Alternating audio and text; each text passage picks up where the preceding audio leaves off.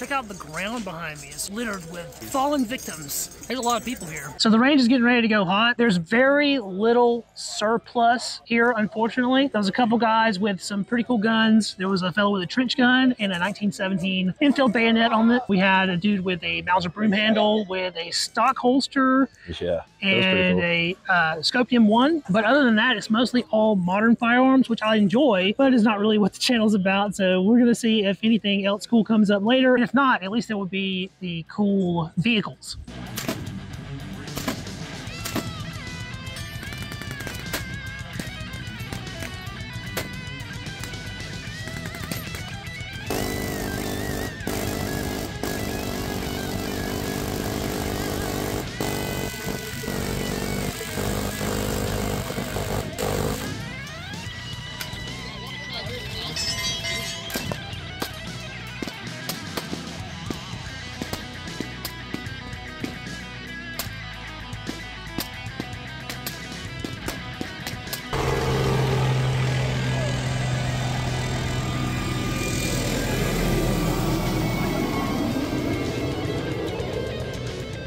We're about halfway through range day. It's been really fun. Yeah, it's been a blast. I believe this is a Sherman. I'm not an expert in uh, heavy equipment, but I think that's what we're in front of here. We got to check out all the booths, and we pulled the trigger on quite a few guns today. Definitely got to try out some stuff I've been wanting to for a long time. The Century MP5 clones. They have one here that's in full auto, and definitely like my favorite gun I've shot since I'm a huge MP5 nerd anyway. Had some of the Century Arms AKs as well, and one of them was full auto. We got to shoot it. It was really nice. Any day where you're shooting full autos is a good day, but apparently there's still more fun to come.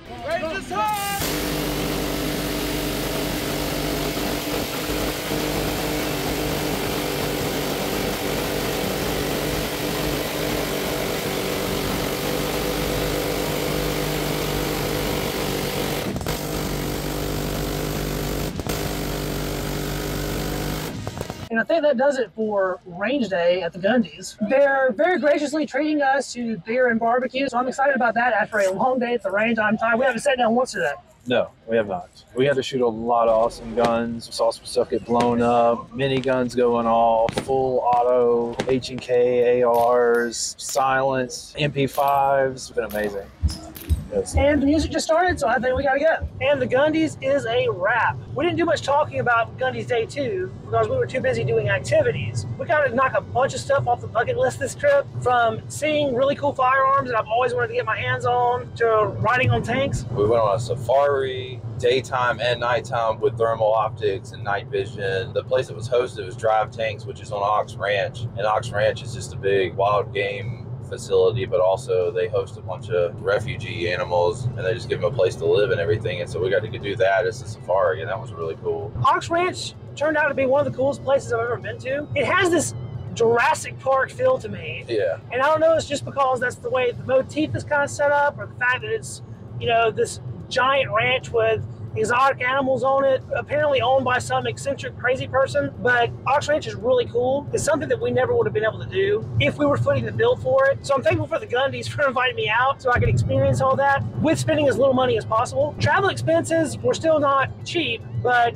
if we had to have travel expenses and pay for all the activities on Ox Ranch, I would be out a ton of money. Day two consisted of an expo in which we got to interface with a lot of firearms community people, companies, know, other creators. I don't really think a lot of the business that was going on at the Gundies is really going to be applicable to our channel, but we did make a couple contacts that might pan out to make for some fun videos. The majority of the channels that participate in the Gundies are for modern firearms, and of course, we really don't do that on Readiness reviews. So our niche doesn't fit exactly, but it's most definitely still adjacent. After the expo, it was time for the actual award ceremony. And that was pretty cool. It was my first ever red carpet event. Don't know if we'll ever do anything like that again, so I guess it's cool to at least have one of those in your life. And they provided food and drink and fun. It was a good time. It was really great. We got to meet and see a lot of big YouTubers and influencers in the gun world. I got to meet Donut Operator. That was really good. I shook his hand and told him I loved his YouTube videos.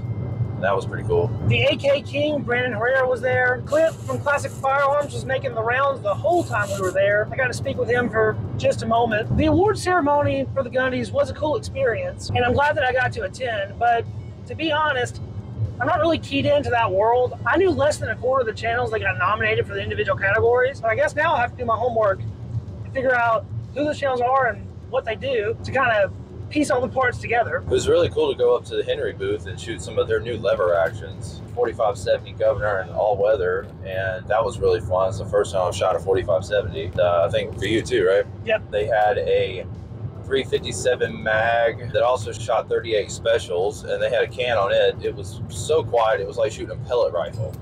And that was very interesting because that was the first time shooting a silencer on a like hunting rifle. That was really cool to shoot something like that and it make hardly any sound and almost no recoil at all. In the H&K booth, they had the M110A1, probably the best shooting rifle by far out of everything we shot on range day. They had their whole line of H&K handguns. Those were really nice. H&K was working with a company called Digital Trigger, and they had a really interesting trigger group that they designed for the AR-15 platform. Century Arms was there. They were with Canik. They had a whole array of their handguns. So I've always had a pretty high opinion of Canik. I've considered them a high value option, even though I've never owned one myself or even shot one myself. Just from watching other people's reviews, I know Nothing Fancy's a big fan of the Caniks.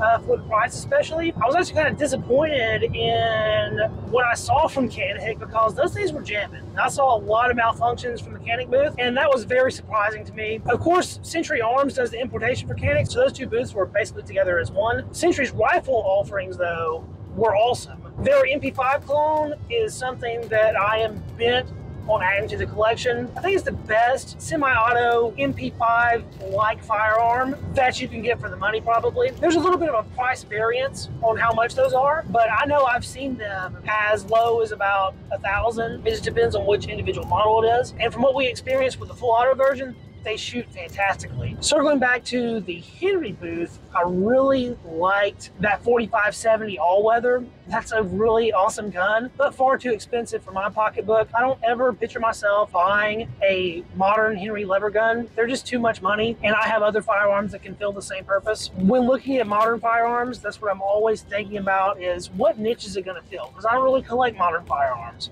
I use them. I see modern firearms as a tool. I think they're really cool but it's not something that I'm trying to accumulate a lot of. I want them to fill a certain purpose though. A lever action 4570 doesn't really serve a purpose that I need to fill, but that doesn't change my enthusiasm for the platform and how cool those guns are. To me, one of the most interesting and fun things at range day was Firebird targets. Firebird is making these sticky targets that are reactive, they explode. They're not tannerite, so it's not a binary explosive. From what they were explaining to me, it's actually like a pyrotechnic charge, and they are a lot safer than tannerite or some other kind of binary explosive. They are very conveniently packed in these little circles with 3M adhesive to them, so you can stick them to anything. They have a nice little concussive blast. They throw out a little fireball, but apparently they're pretty darn safe. And to me, the coolest thing is their affordability. They were saying the MSRP on a 10 pack was like 20 to 25 dollars. They ranged in like different sizes. They had a 50 mil, it was 65 mil. And then they had some that were reflective for uh, infrared. They had an array of different types of targets for different applications. The guys at Firebird were cool to talk to, and they said that it was a possibility that they could get some product out of the channel for us to shoot with milsurps. And I think that would be a really fun video. I definitely like to test their product with my guns. Brownells was there. They brought up the BRN 180, and that was my first time getting a chance to shoot that gun,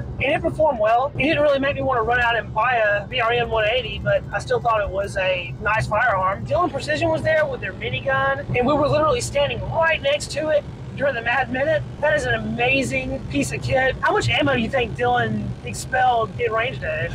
I don't know. They held punch down for almost a solid minute during Mad Minute. However many rounds that spits out a minute. There's thousands and thousands and thousands dollars worth of ammunition fired for that. So I think the minigun is about 3,000 rounds a minute. Throughout the day, they shot many thousands of rounds because they were doing bursts here and there. The rate of fire of the minigun is just ridiculous. It's, it's it is a show in itself. Yeah, it really is. It makes everybody just get quiet and just a big smile on their face just to watch that thing go. At the end of the Mad Minute, we got to watch a tank fire off around. That was a sight to see. That was really cool.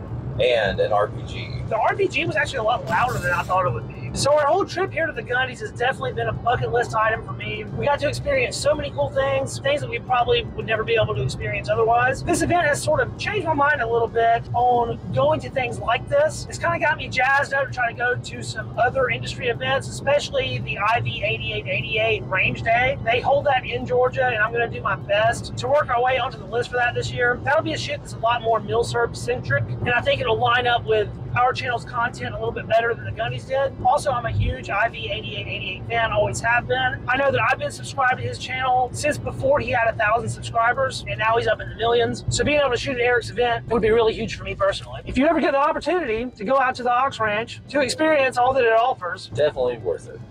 I'd say do it. It's one of the coolest places I've ever been. The Drive Tanks crew are outstanding. Those guys busted their butt the entire time. They were very accommodating. We were there for free and they treated us great. I can only imagine if you're actually paying for that place, what kind of treatment you get from Drive Tanks and the Ox Ranch. Their whole operation is super impressive. This whole trip to the Gundies has really turned out to be the best bachelor party I could have ever hoped for. And that's kind of the way I've been looking at this the whole time. I really can't imagine that I could have done anything more cool for the same amount of money anywhere in the United States. I know this video was sort of meandering and disjointed, but I suppose travel videos can just be that way. If you like the video, don't forget to hit it with a thumbs up to help it out with that algorithm so other people can see it. Subscribe to the channel to catch all of our future content and to see more footage from the 2023 Gundies. I want to say one more big thank you to you guys for the nomination. It really would have been possible without you, and we will catch you in the next video. See you then.